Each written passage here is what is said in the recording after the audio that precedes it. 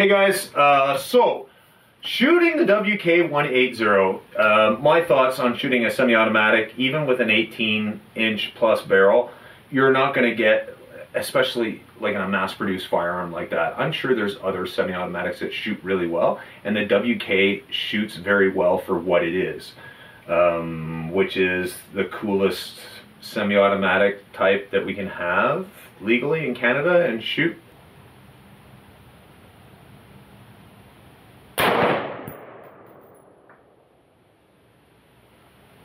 Bullseye.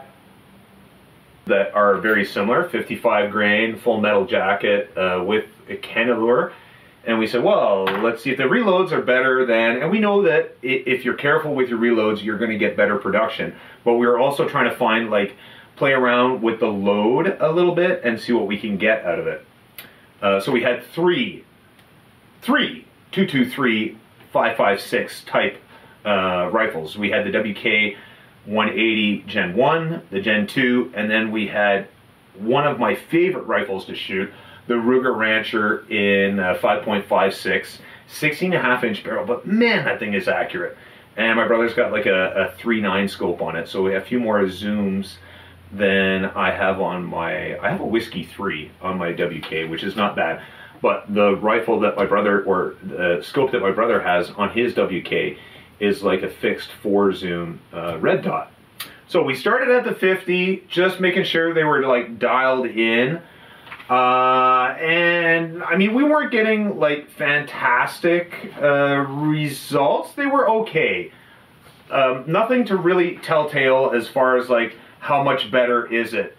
Because we did, um, yeah, uh, we did started at the 50 and then we went out to the uh, 100. So what we have here basically is uh, we actually lucked out and got like a point, point nine two with the factory stuff, which was okay.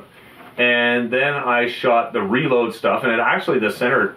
Uh, this is with the WK, and the center moved up quite a bit and uh, two of the, luckily we had white backing behind this so we could see with the other two rounds, but they went off this target and onto the white paper that was backing. And then I have been messing around with some loads on this stuff I picked up, which is the ELDVT. It's a 62 grain. It's basically a match bullet, but uh, set for varmints and uh, 62 grain. And so I played around with that a little bit, and boy, did it like that stuff we got a 0.64. Look at that. Like two touching, one a little low. Okay, so that was with uh, the WKs. And uh, more stuff. Um, my brother, with his WK, with a fixed 4 red dot, he got a 0.41 using that 62 grain ELD VT and uh, we were playing around with the Ruger at the same time. Factory, we got a 1.2 inch grouping, which is not bad. And on the reload, we got a 0.77, so half an inch going from the factory load down to the uh, the reload stuff. And then this is more reload stuff with the WK. It was like 1.38. That was with the Gen 1. So it was all pretty well close, but you could see that there was like a 0.4 to 0.5 inch difference between um, the factory and the reload stuff, which is what I would expect, right? Your your factory ammo. I measured like three casings. Uh, had my calipers out there, and there was a slight difference in all of them, whereas mine are all seated to the same depth and the overall length is all the same. So the worst, I think the worst grouping that we got was with mine was the factory ammo of three and a half inches almost. Like that's that's a big opening. So and that's only at 50 meters. So wasn't great. Didn't like that stuff all that much. I also did. Uh, so we backed up to 100 meters because if I mean if the groupings are going to be crap, that's where you're really going to see it. So we have the uh, factory WK180 came in at like 2.74 inches, okay? And then we have the reloads, which came in at 1.49. So we've got almost an inch, at 1.2 inches difference between the two. And we have the Ruger Rancher, On the reloads, got a .96 on 100 meters, uh, which I'm not surprised. I mean, that thing just shoots so good. And then with the 62 grain ELD VT, we got a .63. Now, um, I was trying a little bit of for low development just to see if there's something out there that it liked. So I jumped up a little bit here and there as I was going through uh, with that stuff to see like if there was anything that it really liked.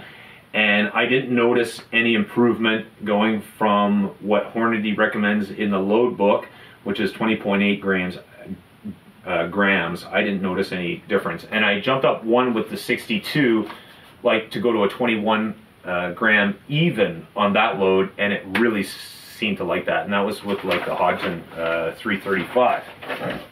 So, what does that tell us? Well, what it tells us is that um, reload stuff is better. And a bolt action is better than a semi-automatic in 90% of the cases. If it's a mass-produced uh, firearm, then I mean, you're not expecting to get. There are some great semi-automatics out there, and I've gotten really good precision from a semi-automatic. But these WK 180s, I mean, you could just take them and like shake them, so it's not a precise firearm. Uh, and yeah, so that's what I have for you guys as far as uh, what it liked and what it didn't like. And uh, the results speak for themselves. Guys, what did you find? Do you have anything? I'm going to play around a little bit more. I think those bolt actions really like the heavier stuff, especially if you get a, like a 1 in 8 twist uh, barrel or something, really get that thing spinning. Uh, if you've had any success with any particular uh, round for a reload, let me know in the comments because uh, I'm trying to get some precision going with the 223 bolt action. And it would be really nice to save me a little bit of legwork.